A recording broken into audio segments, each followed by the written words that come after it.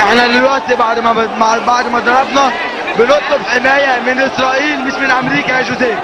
من إسرائيل مش من أمريكا. من إسرائيل مش من أمريكا. من إسرائيل اللي هيتصدى هيتصدى النهارده يا بكرة. وهم كانوا خايفين من بكرة. عشان بكرة الحد وأجازة أخبار وهنكسر المليون. عشان كده عملوا الحركات القذره بتاعت امن الدولة. تهجم. يا يا قناة الأولى يا فاسد يا إعلام يا فاسد. ما الستات كانوا موجودين قدامنا هم كانوا بيصلوا طول النهار. اعلام فاسد.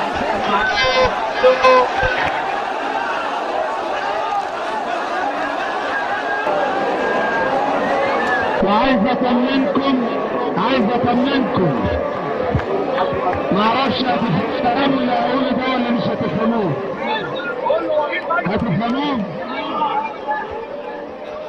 معنى وجودنا معاكم هنا النهارده بالذات.